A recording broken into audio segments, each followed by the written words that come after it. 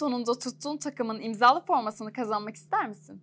Yapman gereken şeyler oldukça basit. Kanalımıza abone olup videomuzu beğenip yorum kısmına abone oldum yazarak sen de tuttuğun takımın imzalı formasını kazanabilir ve DNR'dan hediye çeki kazanma şansı da yakalayabilirsin. Hadi şimdi sen de şansını dene. Kendilerine söz veriyorum. Ee, Sayın Başkanım buyurun efendim.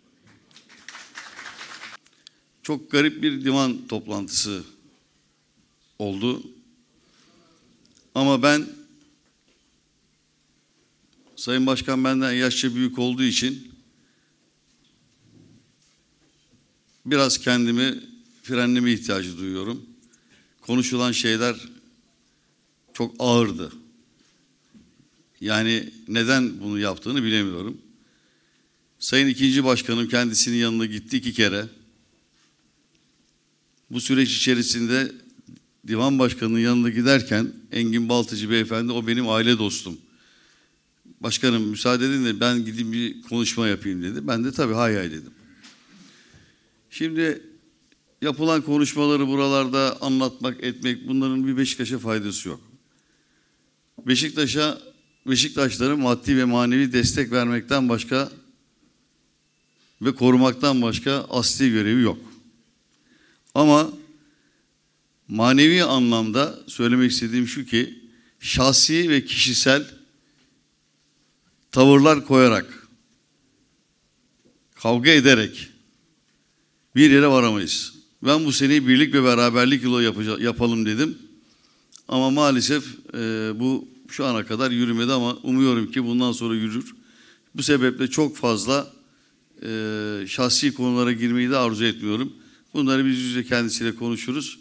Sürekli olarak ikinci başkanıyla beni arattıran Sayın Divan Başkanımızın kurullardan sorumlu yönetim kurulu üyem ikinci başkanımla konuşmasından neden rahatsız olduğunu da anlamış değilim. Sonuç itibariyle sizin ikinci başkanınız beni aradığında her şekilde konuşuyor. Gereken saygı ve sevgiyi de gösterdiğimi sanıyorum. KPMG raporu benim zamanında 3 sene, üç buçuk sene evvel seçimlerden evvel ifade ettiğim bir konuydu. Çünkü Sayın Serdar Adalı Bey ben 7 sene inceleyeceğim dediği zaman biz de 10 seneyi inceleriz. Çünkü ben o dönemin içindeydim. Ve bütün arkadaşlarımın, çalışanların bildiği bir konu var. Yöneticilerimin de bildiği bir konu var. Bundan evvel yönetim kurulunda bildiği bir konu var. Ben bu rapora zerre kadar müdahale etmedim. Bu rapor çıktı. Bu rapor söz verildiği üzere çıktı ve Sayın o gün Genel Sekreter genel hatlarıyla istisnai durumların hepsini tek tek okudu. Bu rapor onun akabinde SPK avukatlarına, bürosuna ve İçişleri Bakanlığı Denetleme Kurulu'na tevdi edildi ve bir hukuk bürosuna da gönderildi. Hukuk bürosuna giden bu dosyayı hukuk bürosu evraklarını tamamlayarak davalarını açıyor. Şu ana kadar 11 dava oldu. Bir 6-7 tane daha davanın açılabileceği öngörülüyor. Dolayısıyla KPMG raporunu bu davaların açılması bitmeden dışarıda bizim değerlendirme şansımız yok. Yasal olarak da yok arkadaşlar. Sonuç itibariyle ben görevimi yaptım. Bana itimat ediyorsanız verdiğimiz hukuk bürosundan da ne geliyorsa gereken yapılıyor. Buna ben de dahil. Bir iki tane dosya benimle ilgili geldi. Atmış olduğum imzalarla ilgili. Gereken neyse ben yapacağımı söylemiştim. Yine de yapacağım. Üç sene evvel geldiğimizde her şey unutuldu galiba. Elektrik sorunu vardı. Bunlar hafife alındı. 6 aylık maaşlar ödenmemişti. OEFA'ya gidebilmek için yapılması gereken borçsuzluk yazıları yoktu ve biz bu süreci elimizdeki cebimizdekini koyarak ve 675 milyon euro da pardon TL'de kefalet vererek ayakta tutmaya çalıştım. Şimdi burayı yönetecek burada adam yok demek biraz hoş olmadı. 3 milyar borç gelene kadar ağzınızı açmadınız. Ben de dahil. Siz de dahil. Efendim ben ilgili kişiye söylüyorum. İlgili kişiye söylüyorum. Müsaade et. Dolayısıyla o gün Şenol Güneş affedersiniz. O gün Şenol Güneş giderken herhangi bir şekilde Bir yorum yapmıyorsunuz. Bugün yorum yapıyorsunuz. Şenol Güneş o gün buradan gönderildi sevgili divan kurulu üyelerim. Gönderildi. Yani bir şekilde zorlanarak gönderildi. Dolayısıyla artık hocamızla ilgili de konuşmaya gerek yok.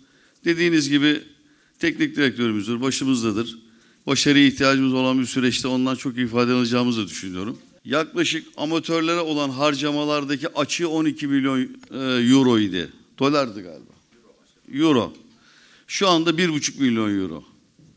Yani yaklaşık 10-11 milyon euro tasarruf etmişiz. Biz bu parayı bu kulübün menfaati için kullanıyoruz. Ancak ancak belirtmek istiyorum ki bütün sponsorlara buradan özellikle çok teşekkür etmek istiyorum. Gerçekten Beşiktaşlı dostlarımıza bir çağrı yaptık. iş adamlarına veya diğer dostlara. Hepsi geldiler. Bütün amatör şubelerin altyapının da büyük bir kısmı olmak üzere giderlerini sırtlandılar. Bugüne kadar böyle bir şey yapılmamıştı. Canı gönülden onlara da buradan teşekkür ediyorum.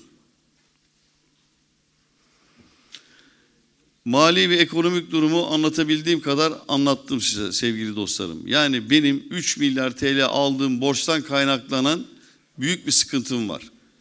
Bu faizleri bir şekilde biz taşıyamaz haldeyiz.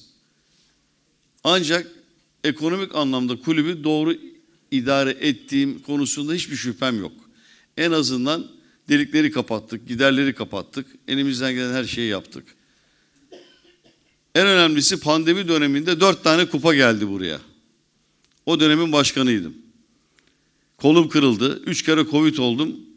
Herkes evinde oturduğu zamanlarda mecburen tabii ki ben buralarda mücadele etmeye devam ettim. Biz geldiğimiz zaman 92 milyon euro takım bütçesini 45 milyon euroya çektik arkadaşlar. Ve daha da aşağı indirmeye çalışıyoruz. Özellikle belirtmek istediğim bir şey var. Ben buraya geldiğim tarihten itibaren 3 yıldan beri ben başkalarının imzalamış olduğu futbolcularla ve kontratlarla baş başa kaldım.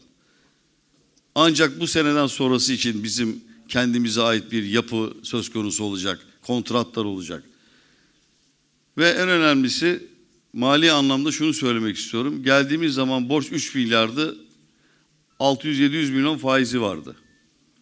3600 3700 üstüne 800 tekrar bir dahaki sene derken rakamlara baktığınızda sadece benim dönemimde yapılmış olan zararın 300 milyon TL olduğunu göreceksiniz. Dolayısıyla kendi dönemimle ilgili yapabileceğim her şeyi yaptım. Ama gelen faiz yükü belimizi büküyor. Bu para 3 milyar olduğu zaman aynı sesi hep beraber çıkarmalıydık. Ama bunu Yalçın abi yaptığı için de adamı görevden aldılar.